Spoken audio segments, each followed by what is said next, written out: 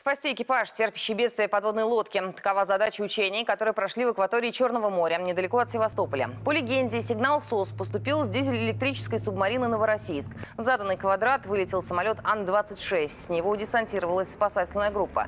Уже на воде они развернули надувной плот и приступили к эвакуации моряков. Кого-то погрузили на подошедший катер, кого-то забрал на большую землю вертолет. Затем, после осмотра отсеков подводного корабля, его взяли на буксир и отвезли на базу газу.